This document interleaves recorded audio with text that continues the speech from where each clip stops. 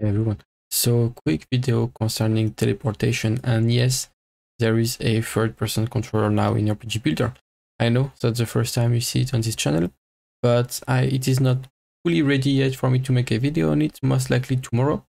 So definitely um, stay tuned for that. Anyway, so teleportation in RPG Builder, it is coming in three different ways. And the way it's handled right now is if you go to effects, and you see here we have an effect and we have a type teleport. And this lets you choose between game scene, position, and target. And I'm going to show you each of those um, teleport types right now. So the first one I'm going to show is the target type. As you see right now, I have a target selected. This is of course not going to work if I do not have one selected. So if you select an enemy or an ally or whatever you want this ability to be possible to use on, um, you can then uh, teleport your target. In this case, you see that um, I chose to have it like a very short cast time, but it could also be fully instant. If I go here now and go to the teleport to target ability and um, reset the cast time, is now going to be instant. So that's it. Uh, this was for the teleportation to target. You can of course choose a minimum and maximum distance at which you can use this ability and so on. But yeah, can be useful for combat, can be useful for many different things. The second one is teleport to a specific um, position or coordinate in this current map. So if I use this, uh, this is actually using interactive nodes. So these portals are interactive nodes which have a, uh, let me show you.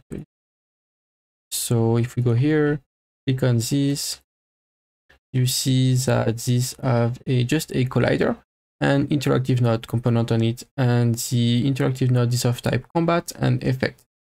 So effect means it's going to trigger you know a specific effect when um, used and uh, so in this case it's just triggering a specific effect which is you know the teleport. And this teleport is set up to be i'm going to show it to you um is this one. This one is set to be position, so it's a specific position in the map, and then you can just assign whatever position you want it to be. So in this case, it is set to be this dummy target here. And when you use it, it's teleporting you in this map to the specific coordinate, you know, quite uh, straightforward. And the third one is a game scene. So it is this one. So it's a game scene. It is taking, of course, a game scene as um, parameter and a location in this scene that you should be teleported on. If you don't know what a game scene is, um, it's basically your uh, maps or worlds in your game.